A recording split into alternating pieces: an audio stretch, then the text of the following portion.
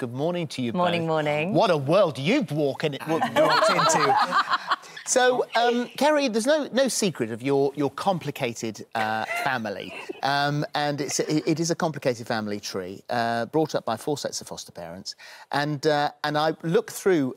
The, the, the, that part of your story this morning, and I read it about three times. and thought, "Oh God, I don't understand who I don't like normal is." things, me, Phil. You know that. So, uh, so that's when I thought I'm just going to say, Kerry, tell us about that time. How long have we got? Who was everybody? How do you all fit in? so it, it's so complicated. So my mum got pregnant, obviously with me, and I was brought up by a gentleman who I thought was my real dad. He was my stepdad.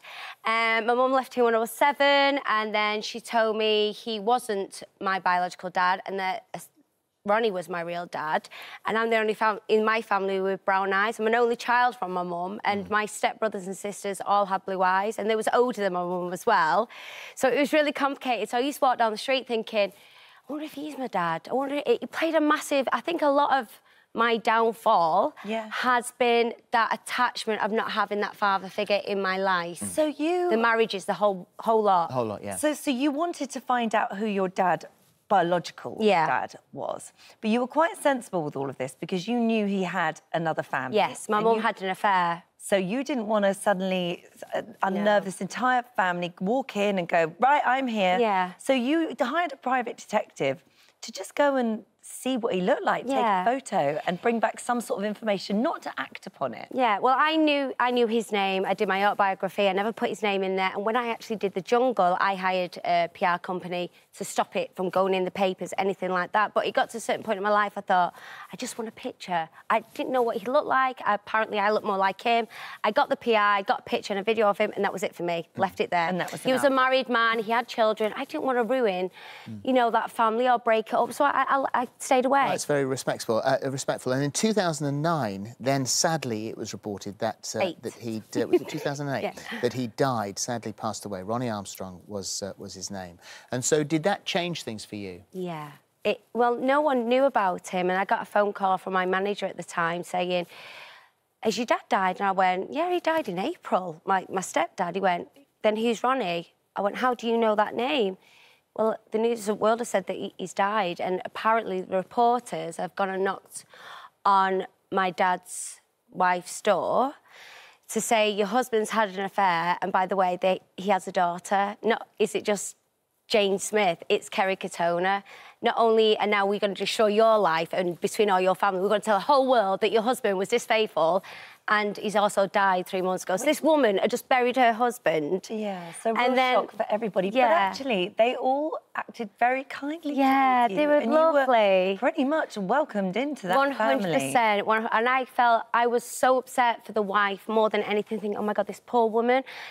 I'm destroying her life. That's what I thought. Yeah. And they rang me up and they were lovely. They were so nice. We want to meet you. And I met his wife and she held my face and she went, It's just like looking at Ronnie, looking at you. You look more like your dad than oh. any of them do. And Lindsay, Jason, Ian, they were all absolutely lovely. And then you found out that that wasn't where it ended. And No. actually, before your dad had had this family, he had been married before. It's a bit of a rogue, wasn't he had, it? he had two other children, of which Yeah. Jason was one. Yeah. So how much did you know? I mean, you didn't know anything about Kerry either. No, it, was when my dad died. It come out that obviously Kerry was, you know, half sister, and obviously with them having the same family, like Kerry's just said, I know Lindsay, Ian, and Paul. I'd met them previous, but obviously we'd not stayed in touch because my dad had his own sort of family, and I had my own life, so on. And then obviously we found out about Kerry, and with everything that was going on, I just stayed. I knew I just stayed in the background, let everything go on. You know, Kerry had a lot going on in her life, and with the, obviously meeting the new family and stuff like that. So I just basically left it for a while. Um, and I But think, you, you, you yeah, text me on social it media, was- didn't you? Yeah, it was about a year later. I let it all die down, let it all settle because I've got family. I had my young kids, and Yeah. and I can see what you know what the newspapers and stuff can can do, and I didn't want that bringing into into my life, if you like. So I left it, and then on New Year's Eve, New Year's Day. In 2011, I texted her basically saying, that, "Hi, Kez, hope you don't mind. I'm your big brother." Um, and obviously, I won't go too much into detail about the text, but straight away she texts back. And ever since, we, we have been texting constantly, really, Yeah. for I think it's coming upon eight, Nine, eight and a half, nine yeah. years now. Why did it take so long between that first contact over social media to actually meeting up? Um, it was commitments, basically. Same. Kerry's chock a block busy at the time. Through all her career, she's always been doing stuff. She lives down south. I live up north.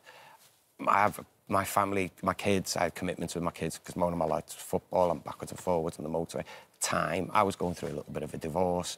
It wasn't good. So I I had my own you we had hassles. something in common. Yeah, I had my own hassles. I had my own problems and, and Sure. issues that I needed to deal with myself.